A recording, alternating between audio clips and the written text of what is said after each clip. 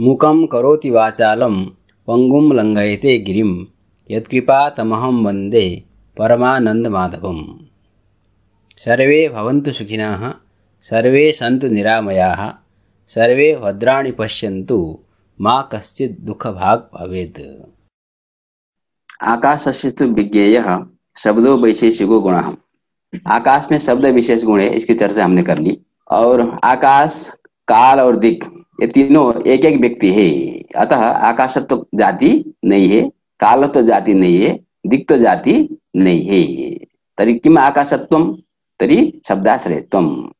विशेष पद का उपादान क्यों किया गया? शब्दों वैशेषिक गुण। तो आकाश में शब्द से भिन्न अन्य कोई विशेष गुण नहीं है। इसको सूचित करने के लिए ग्रंथकार ने वैशेषिक गुण ऐसा कहा है। ऐसा कहने से आकाश का गुण शब्द है, ऐसा कहने से आकाश में प्रमाण भी प्रदर्शित होता है। ठीक? अब देखिए, इस पर हम लोग चर्चा कर रहे थे। तो ग्रंथकार एक स्टेप बना करके क्रमशः आगे बढ़ रहे हैं। तो उन्होंने पहले क्या किया? शब्दों गुण चक्षुर ग्रहण योग्य बहिर्न्द्रिय ग्राह्य जाति मत्वात स्पर्शवत। यहाँ पर किसी किसी पुस्तक में शब्द विशेष गुण ऐसा भी पाठ है। तो जैसे कि हमने चर्चा की, हमको एक ज्ञात है शब्द गुण है और शब्द विशेष गुण है। तथापि वो ग्रंथकार के अपने शैली के हिसाब से प्रसंग में उसमें गुणत्व अथवा विशेष गुणत्व सिद्ध कर रहे हैं। तो इस हेतु के द्वारा हम शब्द में गुणत्व भी सिद्ध कर सकते हैं, विशेष गुणत्व की सिद्धि भी कर सकते हैं। तो यहाँ पर हमने गुणत्व को हमने साध्य बनाया। चक्षुर ग्रहण योग्य बहिरेन्द्रिय ग्राह्य जाति मत्व को हमने हेतु बनाया। स्पर्श हमारा दृष्टांत हो गया। तो चक्षुर ग्रहण योग्य बहिरेन्द्रिय ग्राह्य जाति, स्पर्शत्व जाति है। क्योंकि स्पर्श का प्रत्यक्ष त्वगिंद्रिय के द्वारा होता है। तो स्पर्शत्व का प्रत्यक्ष भी त्वगिंद्रिय के द्वारा होगा। चक्षुर इंद्रिय के द्वारा स्पर्शत्व का प्रत्यक्ष नहीं होता है। तो चक्षुर ग्रहण अयोग्य, बहिरिंद्रिय ग्राह्य जो जाति है, वो स्पर्शत्व जाति है। और वो कार्य जाति मत्व स्पर्श में चला गया। और स्पर्श गुण है, अथवा विशेष गुण है। उसी प्रकार से शब्द का प्रत्यक्ष श्रोत्रेंद्रिय के द्वारा होता है चक्षुर इंद्रिय के द्वारा नहीं होता। तो शब्द में रहने वाली जो शब्द जाति है, उसका प्रत्यक्ष भी चक्षुर इंद्रिय के द्वारा नहीं होगा, श्रोत्रेंद्रिय के द्वारा होगा। तो चक्षुर ग्रहण योग्य बहिरीन्द्रिय ग्राह्य जो जाति, वो हो गई शब्दत्व जाति। तार से जाति मत्व शब्द में है। तो व्याप्ति भी है पक्ष धर्मता भी है। अतः यह हेतु सद हेतु हो गया। सद हेतु होने के कारण शब्द रूप पक्ष में गुणत्व की सिद्धि हो गई। अथवा विशेष गुणत्व की सिद्धि हो गई, ऐसा आप कह सकते हैं। उसके बाद क्या सिद्ध कर रहे हैं ग्रंथकार? शब्द में द्रव्य समवेतत्व सिद्ध किया। शब्द द्रव्य समवेत गुणत्वात, संयोगवत। जो भी गुण होता है, वह द्रव्य में समवाय संबंध से रहता है। इसमें कोई किसी को संदेह नहीं है। आप लोग जितने भी न्याय शास्त्र पढ़ रहे हैं, सबको ज्ञात है कि गुण द्रव्य में समवाय संबंध से रहता है। अतः शब्द भी गुण है। तो उसमें द्रव्य समवे तत्व की सिद्धि हो जाएगी। ठीक है? तो अब इस पर हमने चर्चा की थी, ये क्रम ग्रंथकार क्यों बता रहे हैं? इस ढंग से क्यों जा रहे हैं? उनकी दृष्टि में क्या है? तो उनकी दृष्टि में एक अनुमान है। वो शब्द आकाश को सिद्ध करना चाहते हैं। तो उसके लिए परिशेषानुमान बना रहे, बनाया है ग्रंथकार ने, उनके मन में है। क्या परिशेषानुमान है? शब्द अष्ट द्रव्यातिरिक्त द्रव्याश्रित पृथ्वी आदि जो अष्ट द्रव्य हैं आकाश को अभी छोड़ दीजिए आप, क्योंकि आकाश की सिद्धि हम करने जा रहे हैं। तो अन्य जो आठ द्रव्य है, तादृश अष्ट द्रव्यातिरिक्त जो द्रव्य है, वो आकाश है कहना है इनको। उसमें आश्रित है शब्द अष्ट द्रव्यातिरिक्त द्रव्य में आश्रित है। क्यों? अष्ट द्रव्यानाश्रितत्व सदी द्रव्याश्रितत्वात।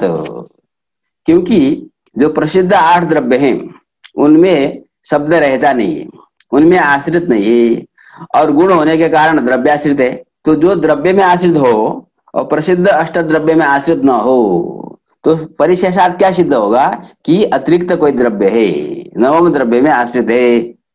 अष्ट द्रव्य अतिरिक्त द्रव्याश्रितत्व की सिद्धि हो जाएगी। ये परिचय अनुमान की चर्चा हमने की थी पिछली कक्षा में।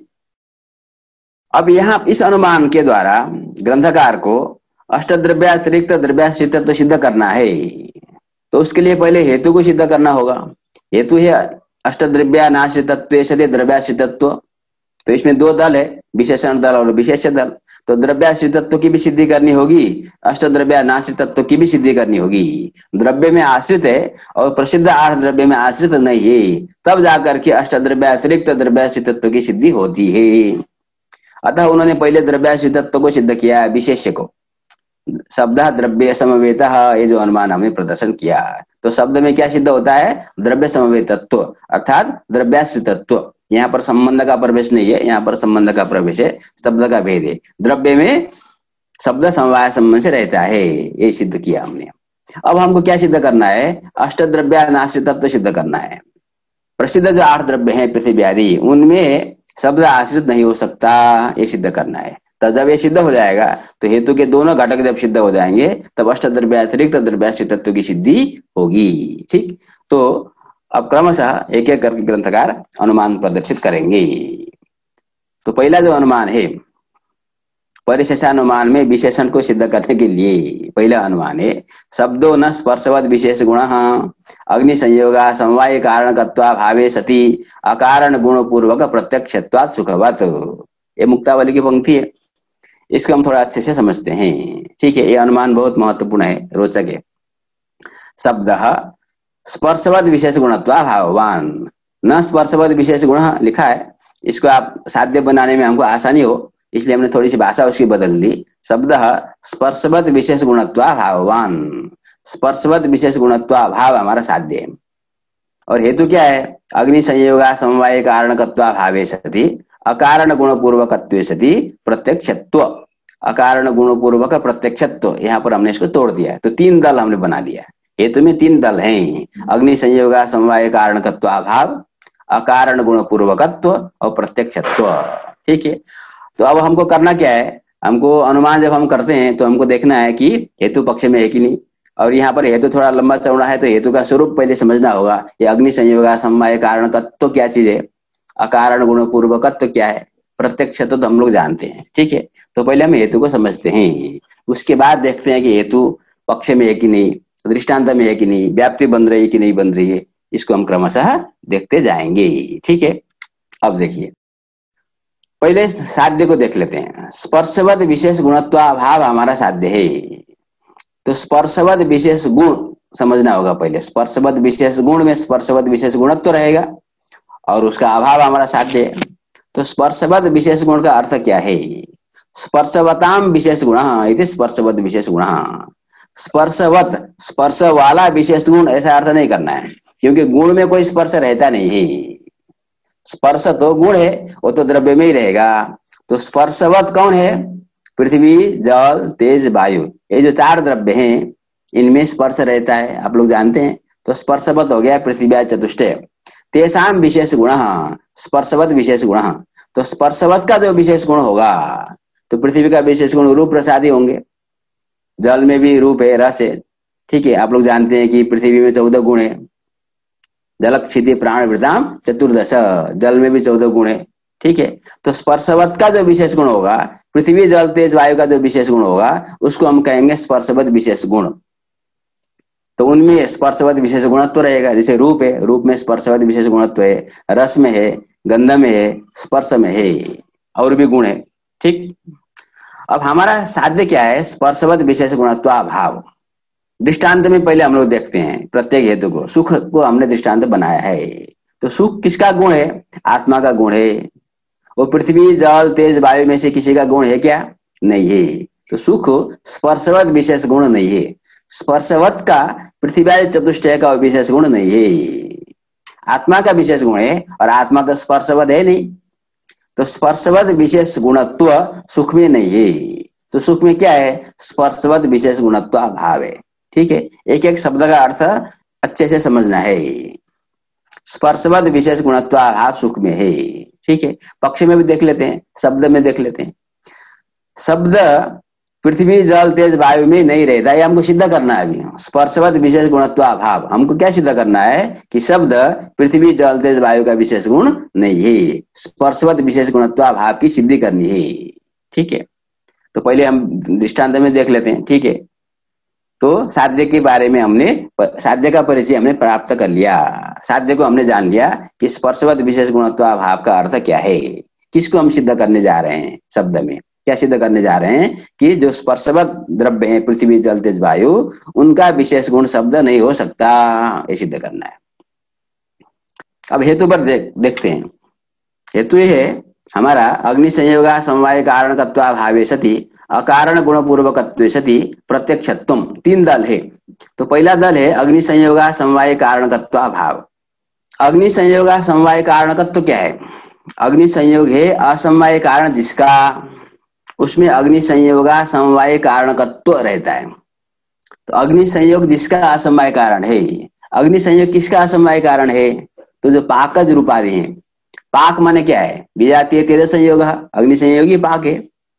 तो पाक के द्वारा उत्पन्न होने वाले जो गुण है, रूपरस, गंध, स्पर्श। पाक कहाँ होता है? केवल पृथ्वी में ही होता है।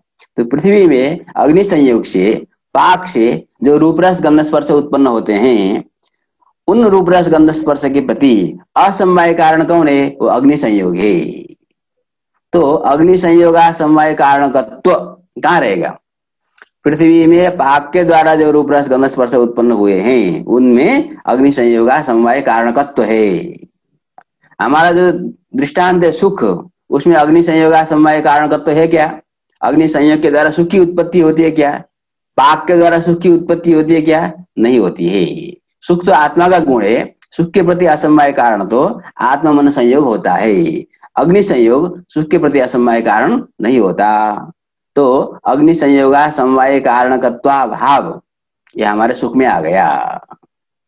ठीक है? तो देखिए, हमको ध्यान क्या देना है कि पृथ्वी, जल, तेज, वायु के जो गुण होते हैं, वो किस प्रकार के होते हैं? उनका स्वभाव क्या है? तो वो स्वभाव शब्द में है कि नहीं, ये हमको देखना है। मिल गया तो हम कह सकते हैं कि नहीं नहीं, पृथ्वी, जल वायु का गुण शब्द है। यदि वो विलक्षण है तो कहेंगे नहीं हो सकता। तो हमको ये सिद्ध करना है कि नहीं हो सकता। विलक्षणता दिखानी है। तो पृथ्वी में कुछ गुण ऐसे होते हैं जो पाकज होते हैं, अर्थात उनके प्रति अग्नि संयोग असमय कारण होता है। और जो हमारा दृष्टांत हमने बनाया है सुख को, उसमें अग्नि संयोग असमय कारण नहीं है। अग्नि संयोग असमय कारण भाव यह हेतु का पहला दल सुख में घट गया। ठीक है? और दूसरे दल को समझते हैं, अकारण गुण पूर्वकत्व। अब हमको पहले कारण गुण पूर्वकत्व समझना है। कारण गुण पूर्वक किसको कहते हैं? कारणस्य गुणेन कार्य ये गुणा उत्पद्यन्ते, ते कारण गुण पूर्वका ठीक है, इसको समझना है। कारण के, कारण माने अवयव के। अवयवी द्रव्य के प्रति अवयव द्रव्य कारण होता है। तो कारण माने अवयव द्रव्य। कारण के गुण से, अवयव के गुण से कार्य जो अवयवी है, उसमें जो गुण उत्पन्न होते हैं, उनको हम कारण गुण पूर्वक कहते हैं। जैसे कपाल से घट की उत्पत्ति हुई तो कपाल के जो गुण है रूप रस गंध स्पर्श, जो भी गुण कपाल में, उनके द्वारा घट में रूप रस गंध स्पर्श आदि गुण की उत्पत्ति होती है।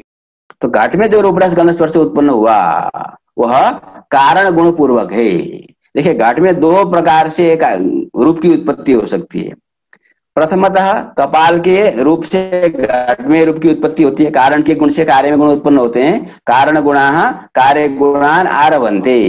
कारण के गुणों से कार्य में गुण की उत्पत्ति होती है। तंतुओं के गुण से पट में गुण की उत्पत्ति होती है। कपाल में जिस प्रकार के गुण है, उसी प्रकार के गुण घट में उत्पन्न होते हैं। तो अवयव का गुण से अवयवी में जो गुण उत्पन्न हुए, उनको हम कहते हैं कारण गुण पूर्वक।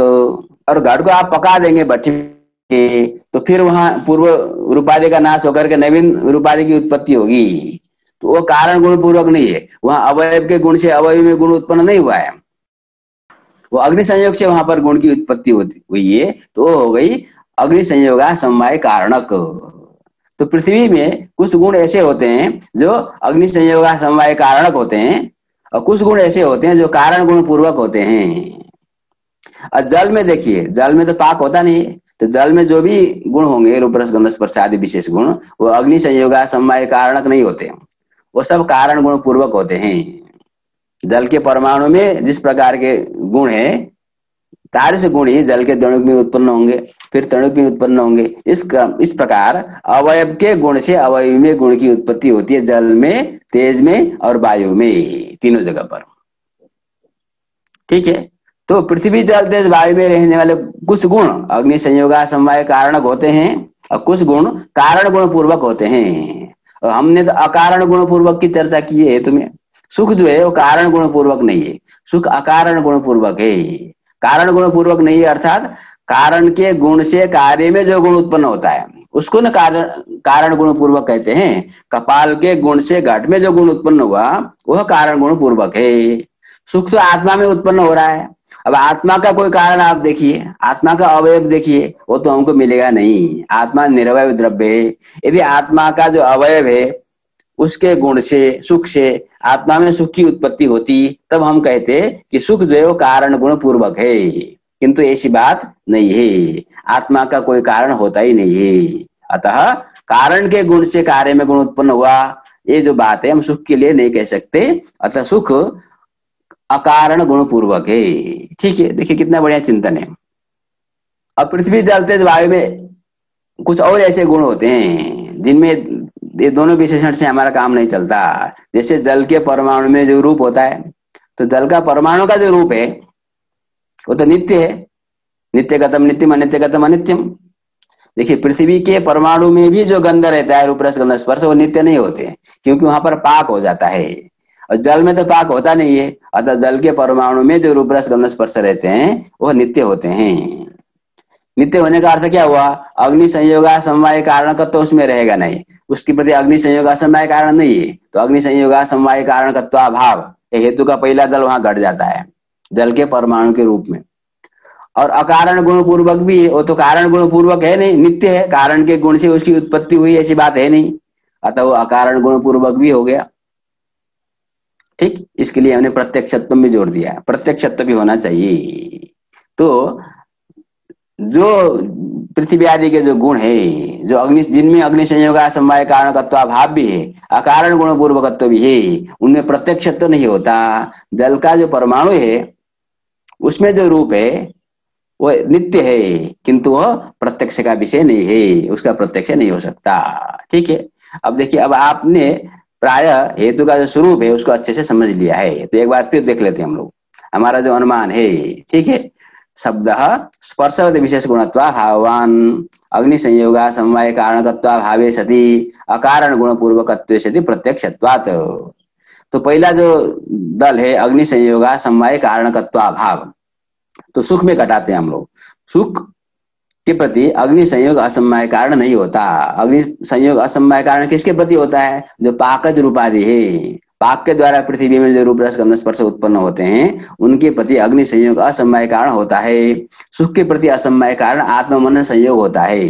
अतः अग्नि संयोग समवाय कारणकत्व। अग्नि संयोग है असमय कारण जिसका?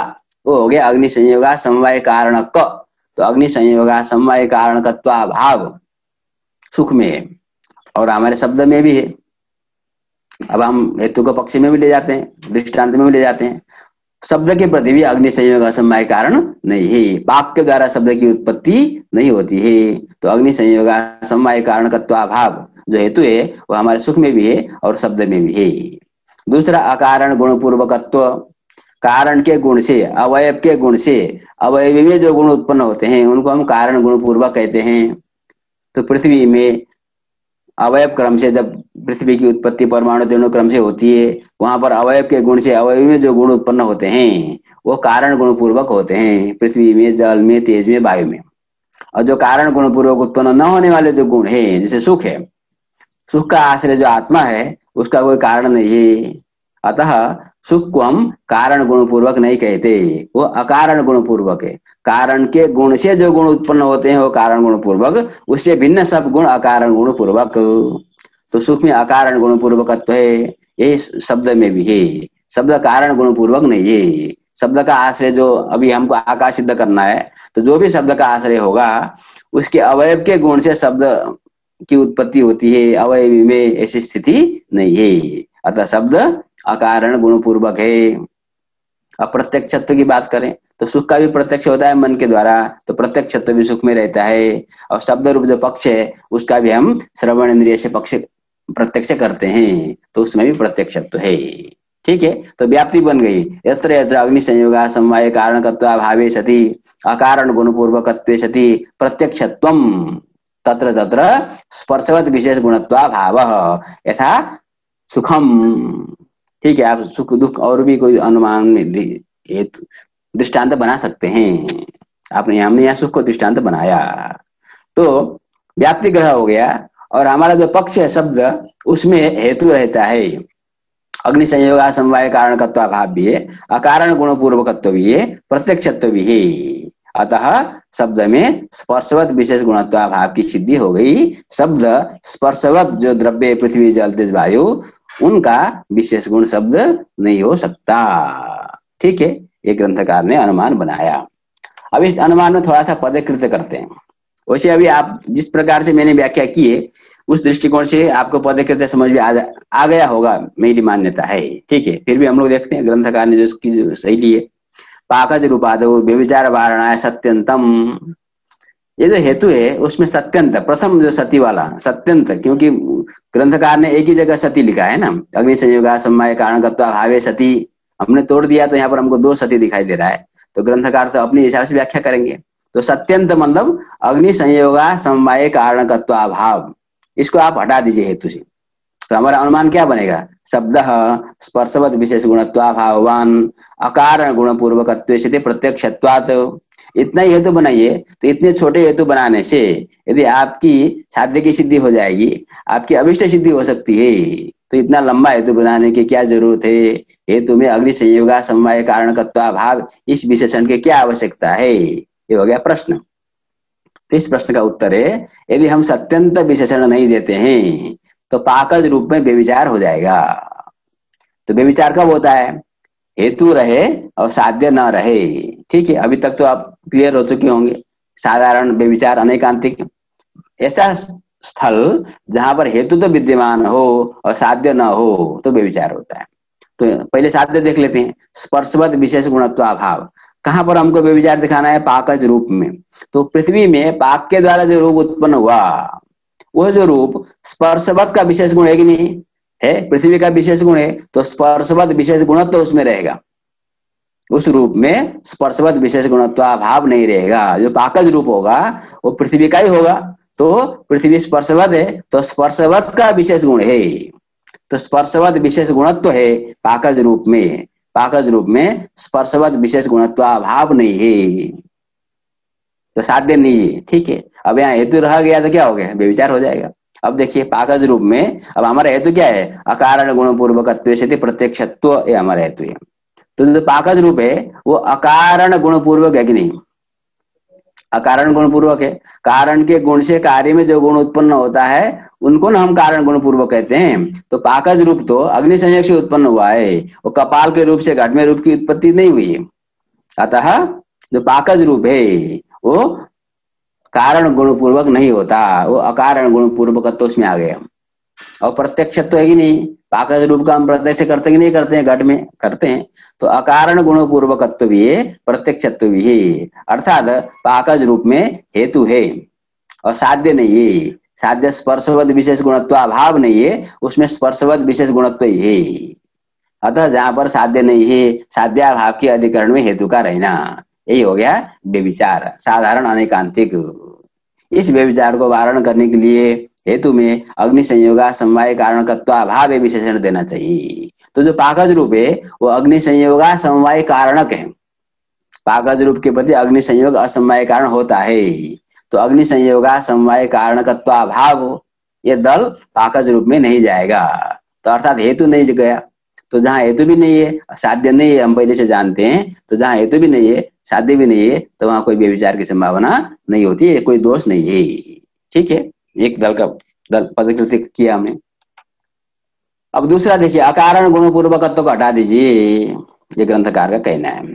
तो हमारा हेतु क्या बचेगा? अग्नि संयोगा, समवाय कारण भाव भावे सती प्रत्यक्षत्व अग्नि संयोगा, समवाय कारण भावे सती प्रत्यक्षत्व ये हमारा हेतु बचेगा इतना हेतु कहा जाए? अकारण गुण पूर्वकत्व कहने की क्या आवश्यकता है? तो ऐसा कहते हैं तो पट रूपाद व्यविचार वारण आय अकारण गुण पूर्वक हेती पट रूप में व्यविचार होगा। पट का जो रूप है पट रूप ग्रंथकार ने इसलिए कहा कि सामान्यतः पट में पाक होता नहीं। ठीक है? तो आप लीजिए कि सफ़ेद जो तंतु है, सफ़ेद तंतुओं के द्वारा सफ़ेद पट की उत्पत्ति हुई। तो जो सफ़ेद पट है उसमें जो शुक्ल रूप की उत्पत्ति हुई है, वो तंतुओं के रूप के द्वारा हुई है, पाक के द्वारा नहीं हुई है। ठीक? अब हमको व्यविचार दिखाना है स्पट रूप में। तो हेतु है, ये पहले हेतु देख लेते हैं। जहाँ पर हेतु है और साध्य नहीं है तो व्यविचार होगा। तो हेतु है कि नहीं? अग्नि संयोगा समवाय कारण अभाव इस पट रूप में है कि नहीं? ये जो पट रूप है, इसके प्रति अग्नि संयोग असमवाय कारण है क्या? नहीं है। तो अग्नि संयोगा समवाय कारण तत्व अभाव आ गया। और प्रत्यक्ष तो है कि नहीं पट रूप का प्रत्यक्ष होता नहीं होता है? होता है। तो अग्नि संयोग समवाय कारण भाव यदि प्रत्यक्षत्व यह हेतु पट रूप में है। और साध्य नहीं, देखिए, स्पर्शवत विशेष गुण है, पट रूप की स्पर्शवत विशेष गुण नहीं है। उसमें स्पर्शवत विशेष गुणत्व अभाव है। तो पट पृथ्वी है तो पट में तो स्पर्श है तो पट स्पर्शवत है। तो पट का जो रूप है, पृथ्वी का जो रूप है, वो स्पर्शवत विशेष गुण है। उसमें स्पर्शवत विशेष गुणत्व तो रहेगा। स्पर्शवत विशेष गुणत्व तो अभाव नहीं रहेगा, अर्थात साध्य नहीं है। तो साध्य नहीं है पट रूप में, और हेतु है तो साध्य जहाँ पर नहीं है, वहाँ यदि हेतु रहता है तो बेविचार होता है, साधारण अनेकांतिक इसके लिए हमको इस व्यविचार को वारण करने के लिए अकारण गुणपूर्वकत्व हमको हेतु में देना है, अकारण गुणपूर्वकत्व। ठीक? अब जो पट रूप है, उसमें ठीक है, अग्नि संयोग समवाय कारण अभाव है, प्रत्यक्षत्व भी है, किंतु वह कारण गुण पूर्वक है कि अकारण गुण पूर्वक है? तो पट का रूप जो है, वो तंतुओं के रूप के द्वारा पट की रूप की उत्पत्ति हुई है। अतः पट का जो रूप है, वो कारण गुण पूर्वक है, उसमें अकारण गुण पूर्वकत्व नहीं है, अर्थात हेतु नहीं है। हेतु नहीं है, साध्य भी नहीं है, कोई बात नहीं है, कोई दोष नहीं है। ठीक है? दूसरे दल का दल कृत्य हो गया। अब प्रश्न करेंगे प्रत्यक्ष तो हटा दो। अग्नि संयोग समय कारण भावे सती अकारण गुण पूर्वकत्व इतने को हेतु बनाते हैं। तो कहते हैं, जल परमाणु रूपाद व्यविचार वारणा प्रत्यक्ष प्रत्यक्ष पद नहीं देते हैं। तो जल का जो परमाणु, उसमें जो रूप है, उसमें बेविचार हो जाएगा। कैसे होगा? अब देखिए बेविचार का मतलब वही है, साध्य नहीं है और हेतु है।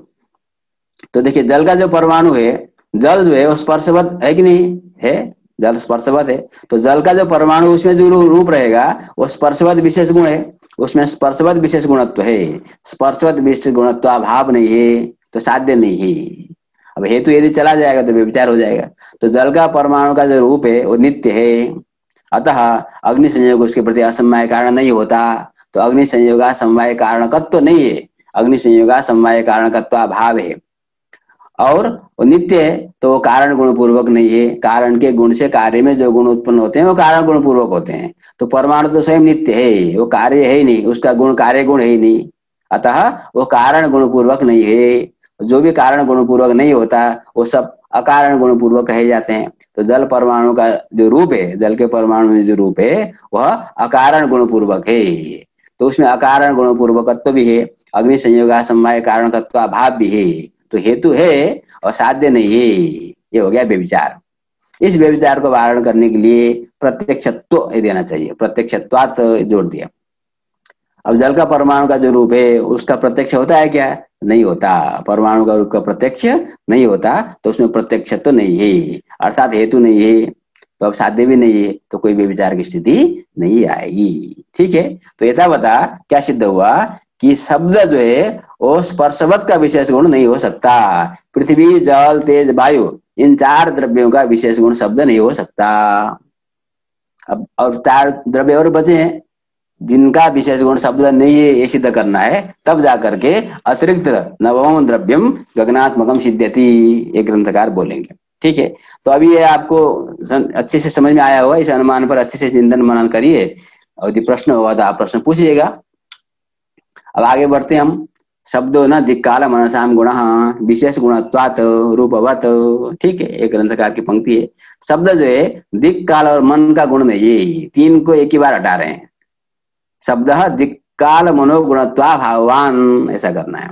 तो पक्ष हो गया शब्द दिक्काल मनोगुणत्वा भाव साध्य हो गया। दिक काल और मन का वो विशेष गुण नहीं हो सकता। क्यों? विशेष गुणत्वात, विशेष गुणत्व हमारा हेतु है। यत्र यत्र विशेष गुणत्व, तत्र तत्र दिक्काल मनोगुणत्वा भाव आप लोग जानते हैं, विशेष गुण कहाँ रहता है? आत्मानो भूत वर्ग विशेष गुण योगी ना हमने साधारण वेदन में प्रकरण में पढ़ा। आत्मा में और भूत वर्ग में। भूत, पृथ्वी, जल, तेज, वायु और आकाश, ये भूत है। और आत्मा, इन छह द्रव्यों में विशेष गुण रहते हैं। काल, दिग और मन, ये दिक काल और मन, इन तीन द्रव्यों में कोई भी विशेष गुण नहीं रहता। और जो शब्द है, वो विशेष गुण है। अतः शब्द दिक्काल और मन का गुण नहीं हो सकता। शब्द न दिक्काल मन श्याम गुण विशेष गुणत्वात्।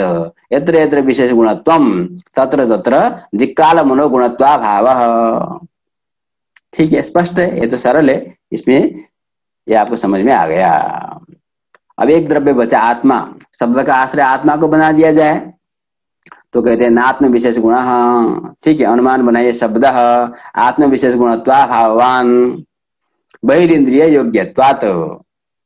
यत्र यत्र बहिरिंद्रिय तत्र तत्र आत्म विशेष गुणत्वा भाव। यथा रूपम आत्मा के जो विशेष गुण है कौन? बुद्धि, सुख, दुख, इच्छा आदि। ये सब आत्मा के विशेष गुण है। उनका प्रत्यक्ष बहिरिंद्रिय के द्वारा होता है क्या? नहीं होता। उनका प्रत्यक्ष मन के द्वारा होता है। बहिरिंद्रिय योग्यता आत्मा के विशेष गुण में नहीं है। आत्मा के विशेष गुण में बहिरिंद्रिय योग्यत्व नहीं है।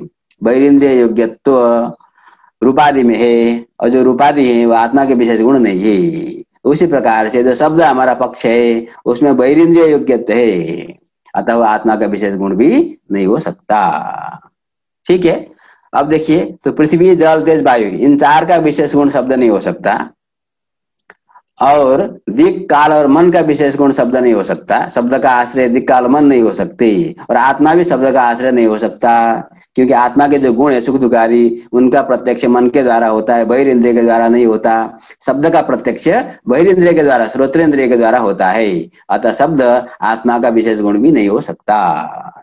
इस तरह से क्या सिद्ध होगा कि शब्द का जो आश्रय है वो अष्ट द्रव्य से अतिरिक्त द्रव्य। है जो परिशेष अनुमान बनाया था हमने, शब्द अष्ट द्रव्य अतिरिक्त द्रव्याश्रित। अष्ट द्रव्यानाश्रित सती द्रव्याश्रित्वात तो ये जो परिशेषानुमान है, इस परिशेषानुमान के आधार पर जो प्रसिद्ध आठ द्रव्य हैं, वो शब्द के आश्रय नहीं हो सकते। अतः शब्द का आश्रय कोई अतिरिक्त द्रव्य है। तो जो शब्द का अधिकरण जो नवम द्रव्य सिद्ध हुआ उसी का नाम हमने दे दिया, आकाश। तो शब्द का आश्रय जो द्रव्य है वह आकाश। है इस प्रकार शब्दाश्रय हम लोग आकाश की सिद्धि करते हैं। ठीक है? आगे बढ़ते हैं। अब यहाँ पर एक प्रश्न है। नच। नच वायु वयवेशु सूक्ष्म शब्द क्रमेण वायु कारण गुण पूर्वक शब्द उत्पद्यताम इति वाच्यम। इति न वाच्यम। प्रश्न क्या है कि ऐसा करते हैं कि हम शब्द का आश्रय वायु को बनाते हैं। ठीक है, आप आकाश को मत मानिए। शब्द कहाँ रहता है? ना प्रश्न है। तो शब्द का आश्रय हम बनाते हैं वायु को।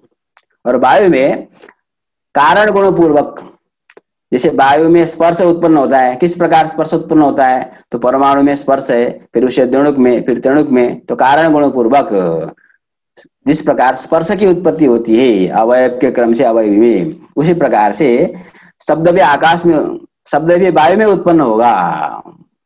शब्द भी वायु में उत्पन्न होगा, अवयव क्रम से। तो पहले सूक्ष्म शब्द उत्पन्न होगा, वायु के अवयव में, फिर उसके स्थूल स्थूल होता हुआ अवयवी क्रम से शब्द की उत्पत्ति हम मान लेते हैं। अर्थात शब्द का आश्रय वायु मान लो, वो शब्द कारण गुण पूर्वक है, उसको हम कारण गुण पूर्वक मान लेंगे।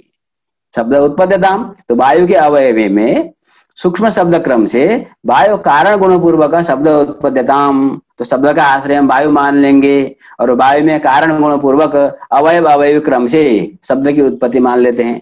ऐसा मान लो, ऐसा किसी ने प्रश्न पूछा। इसका उत्तर ग्रंथकार देते हैं इतना वाच्यम अयावत द्रव्य भावित्व वायु विशेष गुणत्वा भावात। शब्द है अयावत द्रव्य भावी वायु का जो विशेष गुण स्पर्श है, वो यावत द्रव्य भावी है। ठीक है? अब यावत द्रव्य भावी किसको कहते हैं? यावत द्रव्य स्थिति काल स्थिति तत्व यावत द्रव्य भावित्व जब तक द्रव्य की स्थिति हो, जब तक द्रव्य बना रहे, तब तक जो उसका गुण बना रहेगा, उसको यावत द्रव्य भावी कहेंगे। जैसे वायु में स्पर्श है तो स्पर्श कब तक वायु में रहता है? जब तक वायु रहता है। वायु की सत्ता जब तक है, तब तक वायु में स्पर्श भी रहता है। और स्पर्श का नाश कब होता है? जब वायु का नाश होता है उसके अनंतर। आश्रय नाशात नश्यति। हमने इसकी चर्चा पृथ्वी के निरूपण करते समय किया है।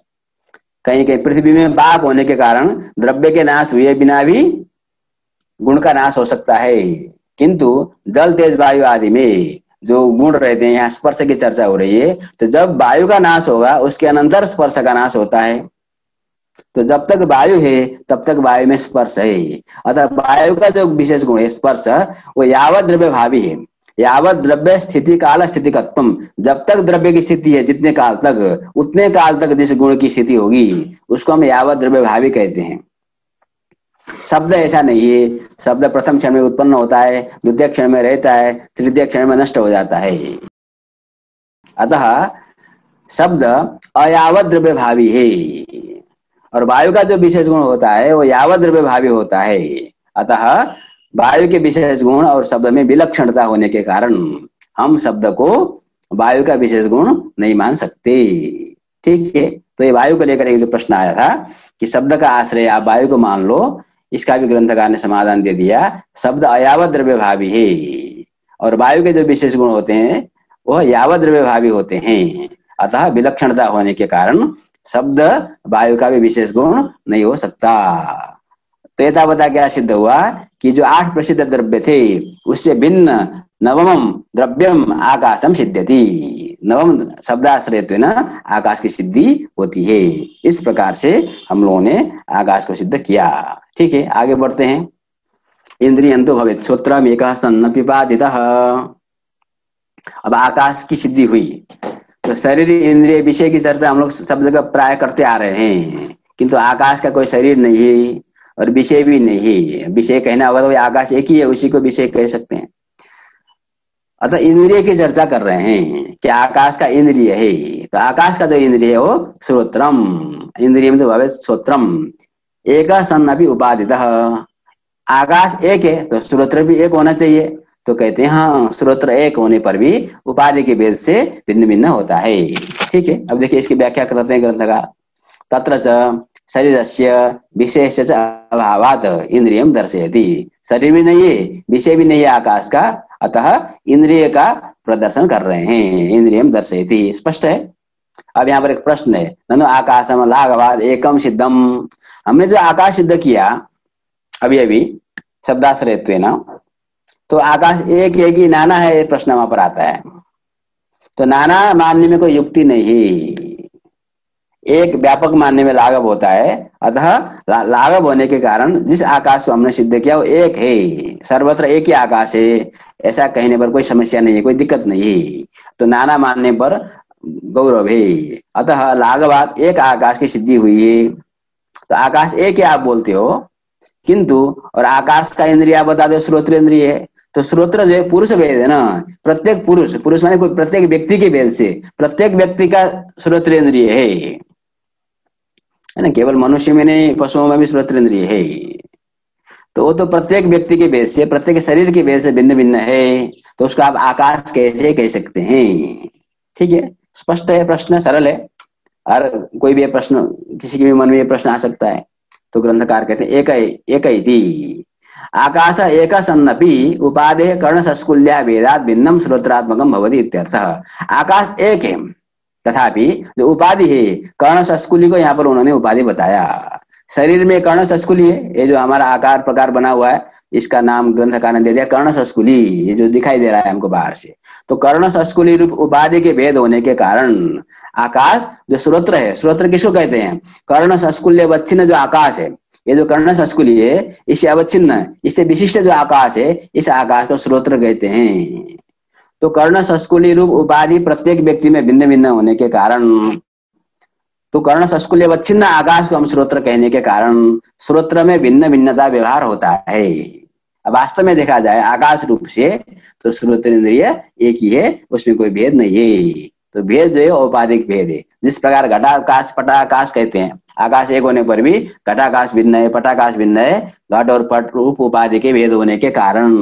उसी प्रकार से कर्ण संस्कुल्य प्रत्येक व्यक्ति में भिन्न भिन्न होने के कारण कर्ण संस्कुल्य वच्छिन्न जो आकाश है, उसका नाम स्रोत्र है। सभी आकाश को स्रोत्र नहीं कहते। कर्ण संस्कुल्य वच्छिन्न जो आकाश है, वो स्रोत्र है। तो कर्ण संस्कुली रूप उपाधि के भेद होने के कारण स्रोत्रात्मक जो आकाश है, वो भी भिन्न भिन्न होता है। एक सन अपनी उपाधित तो श्रोत्र इंद्रिय एक है, आकाश रूप होने के कारण। तथापि उपाधि के भेद होने के कारण श्रोत्र इंद्रियम भिन्नम भिन्नम भवती। ठीक है? तो ये वही आकाश की चर्चा। अब हम काल की चर्चा करते हैं। आकाश के बाद नंबर आया काल। जन्यानाम जनक कालो जगताम आश्रयो मत। परापर तो धेतु क्षणादिशाद उपादित ठीक है? तो जन्यानाम जनक काल। काल सभी जन्यों का जनक है। जितने भी जन्य पदार्थ हैं दुनिया में, उन सब के प्रति काल जनक है। कारण है। साधारण कारण है। आप लोग जानते हैं कारण दो प्रकार के होते हैं। साधारण कारण और असाधारण कारण। यदि भी हमने पहले तीन प्रकार के कारण की चर्चा की है। समवाय कारण, असमवाय कारण, निमित्त कारण। वो तो ठीक है, एक प्रकार की व्याख्या। प्रकारांतर है ना जब हम व्याख्या करते हैं तो कारण दो प्रकार के होते हैं। कौन कौन दो प्रकार के होते हैं? साधारण कारण और असाधारण कारण। कार्य सामान्य के प्रति दुनिया में जितने भी कार्य उत्पन्न होते हैं, उन सबके प्रति जो कारण होता है, उसको हम साधारण कारण कहते हैं। ठीक है, कुछ गिने हुए ईशस्तज्ञान यत्नेच्छा कालो दृष्टम दिगे वच प्राग भाव प्रतिबंध का भाव कार्य साधारणा स्मृता। ठीक है, ईश्वर है, ईश्वर का ज्ञान है, ईश्वर की इच्छा है, ईश्वर का प्रयत्न है। ईशस्तज्ञान यत्नेच्छा काल है दिक है, अदृष्ट है। ये साधारण कारण है। अर्थात दुनिया में कहीं भी कुछ भी कार्य उत्पन्न हो, उनमें ये सबकी कारणता होती है, काल की कारणता होती है। तो काल सभी जन्यों का जनक है, साधारण कारण है। और जगताम आश्रय मत, सारा जगत का आश्रय भी है काल। देखिए, यहाँ पर आपको ध्यान देना है, जब जनक कहा तो जन्यानाम जनक कहा, जगताम जनक नहीं कहा। क्योंकि जगत के अंतर्गत तो नित्य पदार्थ भी आते हैं तो नित्य का तो कोई जनक हो नहीं सकता। अतः जितने भी जन्य पदार्थ हैं, उनका जनक काल है। और जगत का आश्रय आश्रय तो नित्य पदार्थ का भी है। काल सर्वाधार काल काल सबका आधार है, सब कुछ काल में रहता है। ठीक है? अब देखिए, ये जन्यानाम जनक कहने के पीछे हेतु है, क्योंकि काल सबका आधार है। अतः जिस आधार में कार्य की उत्पत्ति होती है, वो आधार में कारण होता है। जिसे चक्र में घट की उत्पत्ति हो रही है तो चक्र भी तो घट के कारण है। उसी प्रकार से काल सबका आधार है तो कोई भी कार्य उत्पन्न होता है तो किसी न किसी काल में उत्पन्न होता है। अतः वो काल भी उस कार्य के प्रति कारण बन जाएगा, अतः वो जन्य मात्र के प्रति जनक होता है। ठीक है? और परापरत्व ध्येतु क्षणादिशाद उपाधिता ये परत्वा परत जो बुद्धि होती है, दो प्रकार की परत्वा परत्वा परत बुद्धि होती है, आप लोग जानते हैं दिकृतम कालकृतम च। तो कालिक जो परत्वा परत बुद्धि है, ज्येष्ठत्व बुद्धि और कनिष्ठत्व बुद्धि, ज्येष्ठ, कालकृतम परत्वम, कनिष्ठ काल कृतम अपरत्वम। ये जो परत्वा परत बुद्धि है, कालिक परत्वा परत बुद्धि, उसके प्रति काल कारण है। और यहाँ पर भी प्रश्न आएगा, आप कहते हैं काल एक है, काल एक है है ना? पहले भी कहा, आकाश काल दिख एक व्यक्ति होने के कारण आकाशत्व आदि जाति नहीं है। तो कहते यदि काल एक है तो क्षण, दिन, मास, वर्ष, इतना व्यवहार कैसे होता है? तो ये भी उपाधिता उपाधि के द्वारा ये व्यवहार होता है। तो उपाधि क्या है, इसकी हम चर्चा करेंगे। हमने कल आपको एक मैसेज भेजा भी था कि जो संयोग विभाग का हमारा तर्क संग्रह का वीडियो है, उसमें क्षण की चर्चा हमने की है तो उसको आपको देखना अत्यंत आवश्यक है। ठीक है, आप लोगों ने देखा होगा। कालम निरूपयते इति अब देखिए, तत्र प्रमाणम दर्शयितु महा जगताम आश्रय पहले कहा जन्यानाम जन्यानाम जनक काल। तो काल सभी जन्यों का जनक है। उसमें प्रमाण दिखा रहे हैं। सभी जन्यों का जनक काल कैसे हो सकता है? क्योंकि जगताम आश्रय। ठीक, क्योंकि वो जगत का आश्रय है। तो जिस आश्रय में कोई भी कार्य उत्पन्न होता है, वो आश्रय भी उसके प्रति कारण है। जब यह सिद्ध हो जाएगा कि काल जगत का आश्रय है, तब उसमें जन्यानाम जनक इसकी भी सिद्धि हो जाएगी। ठीक है? अब हमको सिद्ध क्या करना है कि काल जगत का आश्रय, काल है पहले सिद्ध करो ना आप। काल है, ये जब सिद्ध होगा, तब हम मानेंगे कि काल जगत का आश्रय है, फिर जन्य का जनक है। अभी तो काल की सिद्धि नहीं हुई है। आप काल को मानते क्यों है? किस प्रमाण के आधार पर काल की सिद्धि आप करते हो? ये प्रश्न यहाँ पर बनाना है, ठीक है? तो इस प्रश्न के उत्तर के लिए ग्रंथकार कहते हैं, तथा ही इधानीम घट इत्यादि प्रतीति सूर्य परिस्पंदादिकम यदा विषय करोति, तदा सूर्य परिस्पंदादिना घटादे संबंधो वाच्य सत संबंध संयोगादि न संभवती काल एवं संबंध घटक कल्प्यते। इत्सम च तस्याश्रयत्वम सम्यक। अब देखिए इदानीम घटा प्रतीति हो रही है। हम लोग कहते हैं इदानीम घट तदानीम घट तो इदानीम का अर्थ क्या होता है? इदानीम वर्तमान काले प्रातः काले इदानीम वर्तमान काले घट दिवा काले घट सायं काले घट तो ये जो प्रतीति हमारी हो रही है, ये प्रतीति में क्या क्या विषय है? जैसे हम घटवत भूतलम जब कहते हैं तो घटवत भूतलम कहते हैं तो घट और भूतल भूतल में घट का संबंध वहाँ पर द्योतित हो रहा है, जिस प्रकार से। उसी प्रकार से इदानीम घटा जब हम बोल रहे हैं तो इदानीम मने वर्तमान काले। तो वर्तमान काल, अभी तो हम काल सिद्ध करने जा रहे हैं तो वहाँ काल से हमारा विवक्षित पदार्थ क्या है? किसको ले आधार बना करके हम इदानीम घटा बोल रहे हैं? वो है सूर्य परिस्पंद। सूर्य की जो क्रिया है, सूर्य की गति को आधार बना करके ही हम इदानीम तदानीम का व्यवहार करते हैं। प्रातः सायम ये व्यवहार सूर्य परिस्पंद सूर्य की जो गति है, उसको आधार मान करके इदानीम तदानीम प्रतीति होती है। तो इदानीम घटा जब प्रतीति हो रही है। तो उस प्रतीति के आधार पर क्या सिद्ध होता है कि सूर्य की जो क्रिया है, उसके साथ घट का कोई न कोई संबंध है। सूर्य क्रिया को प्रतीति विषय करती है। इदानीम घट जो प्रतीति है यह प्रतीति सूर्य क्रिया, परिस्पंद मतलब क्रिया सूर्य क्रिया को विषय करती है। अर्थात सूर्य परिस्पंद के साथ, सूर्य क्रिया के साथ घट का कोई न कोई संबंध होना चाहिए। जब भूतल और घट के बीच में कोई संबंध होगा, तब ना हम भूतल घटा कहेंगे। हम इदानिम घटा कब कहते हैं? तभी हम इदानिम घटा कह सकते हैं, जब घट का सूर्य क्रिया के साथ कोई न कोई संबंध होगा। अब देखिए, सूर्य क्रिया और घट के बीच में संबंध देखना है हमको। सद संबंध, संयोग आदि न संभवती संयोग आदि संबंध तो हो नहीं सकता। सूर्य उतने दूर है, घाट यहाँ पर है, ठीक है? तो अब केवल सूर्य और घट का संबंध भी नहीं बनाना हमको। हमको सूर्य की जो क्रिया है, उसके साथ घट का संबंध बनाना है। तो संबंध संयोग आदि संबंध हो नहीं सकते। क्रिया का संबंध संयोग होगा ही नहीं। समवाय संबंध क्रिया का संबंध हो सकता है, किंतु सूर्य क्रिया का समवाय सूर्य के साथ होगा, घट के साथ होगा नहीं। ठीक है? तो हमको एक संबंध की कल्पना करनी पड़ेगी। संबंध का अनुमान करना पड़ेगा। तो जो भी हम सूर्य क्रिया और घट के बीच में संबंध बनाएँगे, वो संबंध काल घटक होगा। काल को प्रविष्ट करा करके वो संबंध हमारा बनेगा। ठीक है? हमको एक ऐसा द्रव्य कल्पना करनी है, ऐसा पदार्थ कल्पना करनी है, जिसके द्वारा सूर्य क्रिया और घट के बीच में संबंध बन सके। वो जो पदार्थ है, वो काल है। ठीक है? तो जैसे हम संबंध बनाते हैं, सूर्य क्रिया और घट के बीच में क्या संबंध है? तो टीकाकारों ने संबंध बनाया है। स्वाश्रय तपन संयोगी संयोग। ठीक है स्व से हम किसको लेंगे? सूर्य क्रिया स्व से हमने लिया सूर्य क्रिया को। स्वाश्रय सूर्य क्रिया का आश्रय कौन है? सूर्य है। तपन तपन, माने सूर्य। तो स्वाश्रय जो तपन, स्वम सूर्य क्रिया सूर्य क्रिया का आश्रय हो गया तपन, सूर्य। उस तपन का संयोगी, सूर्य का संयोगी कौन है? काल है। हमने काल को मान लिया। ठीक है, जिस, जो कि काल सर्वव्यापक है। अतः सूर्य के साथ भी उसका संयोग है, और उस संयोगी जो काल है, उसका संयोग पुनः घट के साथ भी है। ठीक है तो सूर्य क्रिया का संबंध सूर्य में है। सूर्य का संयोग काल के साथ है और काल का संयोग घट के साथ है इस प्रकार से सूर्य क्रिया और घट के बीच में संबंध जो बनता है, परंपरा संबंध, उस संबंध में घटक जो संयोगी पदार्थ है, वो काल पदार्थ है। काल को मान करके ही हम सूर्य क्रिया और घट के बीच में संबंध जोड़ पाते हैं। जो भी हम संबंध बनाएँगे, परंपरा, साक्षात संबंध बन नहीं सकता तो जो भी हम परंपरा संबंध बनाएँगे, उस परंपरा संबंध में घटक जो पदार्थ होगा ऐसा विभू द्रव्य की हम कल्पना करेंगे, वो जो विभू द्रव्य है, उसी को हम काल कहते हैं। इस प्रकार से जो विभू द्रव्य एक द्रव्य की सिद्धि हुई, काल जब सिद्ध हुआ तो तस्य आश्रय तुम भी सम्यक। ठीक है? तो जब काल सिद्ध हुआ तो उसकी आश्रयता भी सिद्ध हो जाएगी तो काल सिद्ध हुआ तो काल सिद्ध होने से काल में आश्रयता, जगत की आश्रयता सिद्ध हुई।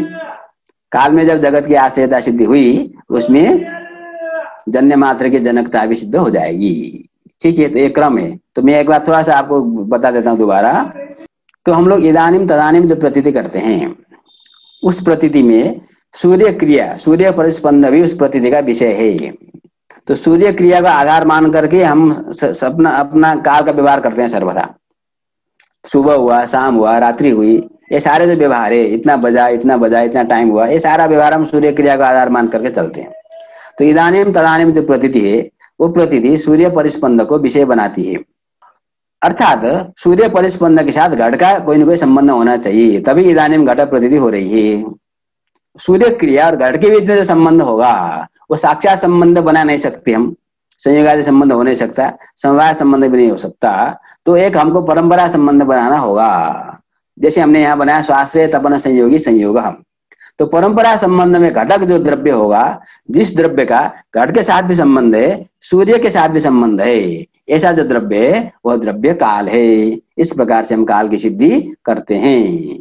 ठीक है, यहाँ पर प्रश्न आता है, इसमें आप लोग टीकाओं में देख सकते हैं, जिसको विशेष जिज्ञासा हो, कि ऐसा द्रव्य तो आप आकाश को मान सकते हो दिक को मान सकते हो, आत्मा को मान सकते हो, विभुत द्रव्य तो और भी है, विभुत द्रव्य काली, ऐसी बात तो है नहीं। ठीक है तो वहाँ पर प्रश्न आता है कि बिनिगमना का विरह हो जाएगा। अब आकाश को मानेंगे तो प्रश्न करेगा, दूसरा दिक को क्यों नहीं मानते? फिर कोई तीसरा कहेगा, आत्मा को मान लो। आत्मा, जीवात्मा भिन्न भिन्न है कौन सी जीवात्मा को मानना है? तो ये सब बिनिगमना विरह होने के कारण एक हम उसके लिए स्पेशल अतिरिक्त काल की कल्पना अर्थात काल की अनुमिति कर लेते हैं। इस प्रकार से हम काल की सिद्धि करते हैं। ठीक है? तो इस प्रकार से हमने काल की सिद्धि की। जन्यानाम जनक काल जगताम आश्रय मत। इस कार्य के आधार? पर अब ग्रंथकार, परापरतो हेतु के द्वारा दूसरा प्रमाण भी प्रदर्शित करते हैं, जिससे कि काल की सिद्धि होती है। ये जो प्रमाणांतर की चर्चा है, ये हम कल करेंगे। ठीक है? तो आज के लिए हम ये रखते हैं। आपका यदि जो प्रश्न हो, आप कमेंट बॉक्स पर लिख सकते हैं। आपको बहुत बहुत धन्यवाद।